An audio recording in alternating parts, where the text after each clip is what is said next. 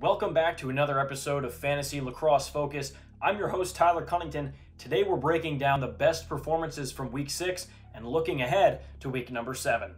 This weekend was heavy on conference matchups, so let's see how it all went down. Starting off with the attack, you may remember last week Keegan Khan had the best fantasy performance to date with 48 points.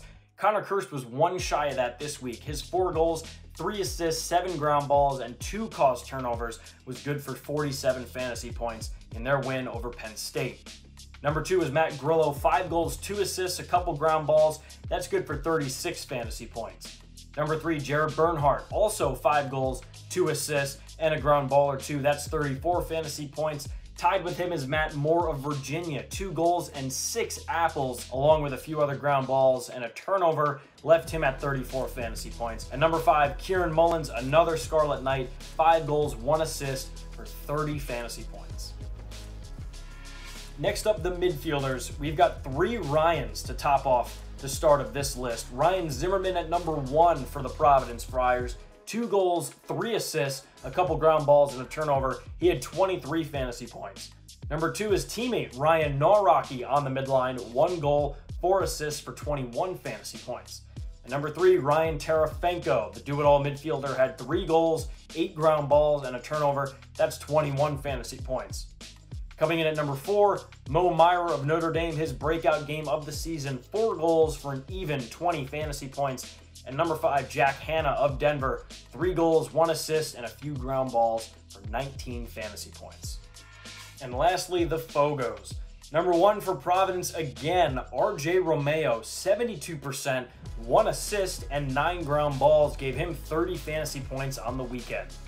Number two, Petey LaSalla continuing his outstanding campaign here for Virginia.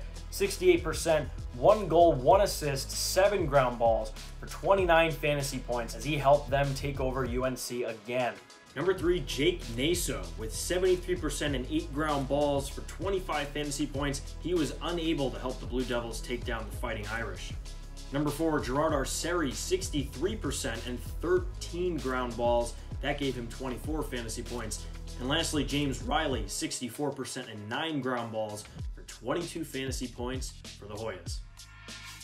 And now, what you've all been waiting for the matchups to take advantage of this weekend. Firstly, however you have to fit it into your budget, make room for Virginia's offensive core as they face Duke on Thursday and Utah on Saturday, allowing for some major double dipping and some big point totals.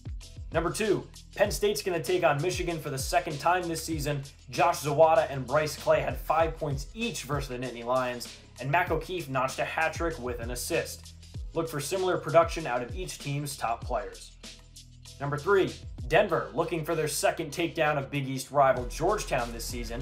Ethan Walker could very well be absent due to injury again, so look toward Jackson Morrill, Jack Hannah, and Alex Simmons to pick up the slack just in case. And lastly, number five, the Rutgers attack will be worthy of your budget versus Hopkins this week as they combined for 17 points versus the Jays back on March 20th. Plus, the Jays are on a four game losing streak. That's going to do it here for week number six. Be sure to follow myself and Lax Playground on Twitter for more fantasy related content. Plus, make some time this week to listen to the Fantasy Lacrosse podcast for more in depth breakdowns. This has been Fantasy Lacrosse Focus. I'm Tyler Cunnington. Peace out. Música